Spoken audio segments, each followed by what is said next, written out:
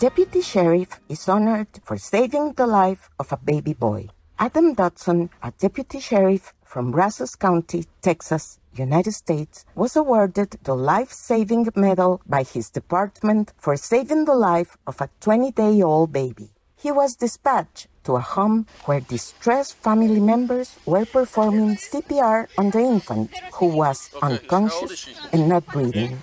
Deputy Dodson took the baby and turned him over to open his airway and also performed the Heimlich maneuver for infants. The baby became responsive, was able to breathe on his own, and was then transferred to the hospital for further examination. Deputy Dodson reported that he had learned the vital techniques during his police training and again when becoming a father. A warm round of applause for your heroic deeds, Sheriff Deputy Adam Dodson. May God bless the precious baby as well as all police officers for their noble acts of protecting others.